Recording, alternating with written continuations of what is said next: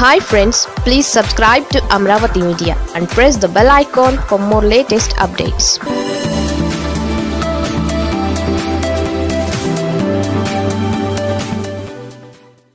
పగలు సర్పంచ్ కుర్చీలో రాత్రి వాచ్మ్యాన్ డ్యూటీలో.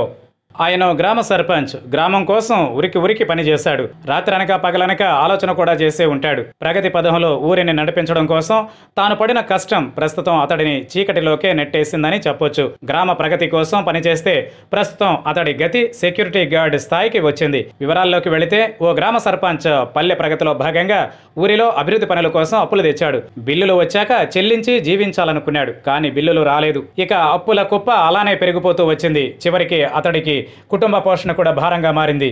దీంతో ఏం చేయాలో పాలుపోక సెక్యూరిటీ గార్డ్గా మారాడు అతడు. ఉదయం పూట సర్పంచ్గా ప్రజాసేవ చేస్తూనే రాత్రిపూట సెక్యూరిటీ గార్డ్గా వర్క్ చేస్తున్నాడు. నిజామాబాద్ జిల్లా డిచ్పల్లి మండలం ఆరేపల్లి గ్రామ సర్పంచ్ అతడు. ఈ ఊరి సర్పంచ్ పదవి అప్పట్లో ఎస్సీకి రిజర్వ్ అయింది. దీంతో చాలా మంది సర్పంచ్ పదవి కోసం బరిలోకి దిగారు.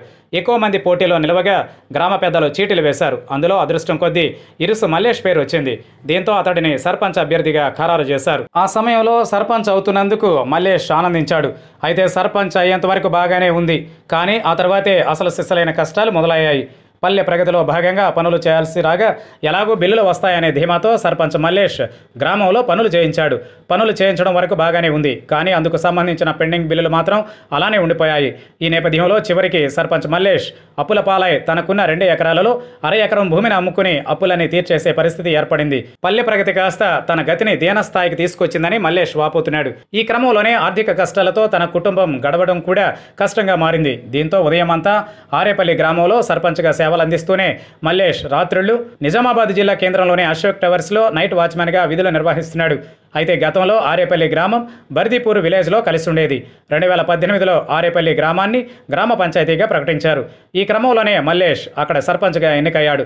గ్రామ జనాభా నాలుగు వందల ముప్పై నాలుగు కాగా గ్రామాభివృద్ధికి గాను ఎస్ఎఫ్సి నిధులు ముప్పై ఏడు వేలు వస్తాయని అధికారులు పేర్కొంటున్నారు. అయితే మంజూరైన నిధులు గ్రామ పంచాయతీ సిబ్బందికి వేతనాలు కరెంటు బిల్లులకే అయిపోతున్నాయని సర్పంచ్ మల్లేష్ పేర్కొంటున్నాడు. గ్రామాభివృద్ధి పనులకు సంబంధించిన నిధుల విడుదల విషయమై డిస్ట్రిక్ట్ కలెక్టర్ను పలుమార్లు సంప్రదించినట్లు సర్పంచ్ మల్లేష్ తెలిపాడు. అయితే ఆ సమయంలో నిధులు ఇస్తామని కలెక్టర్ హామీ ఇచ్చాడని కానీ ఆచరణలో ఒక్క రూపాయి కూడా రాలేదని మల్లేష్ పేర్కొన్నాడు. తెలంగాణ సర్కార్ ఇప్పటికైనా స్పందించి తనను ఆదుకోవాలని కోరుతున్నాడు సర్పంచ్ మల్లేష్ ఇరుసు.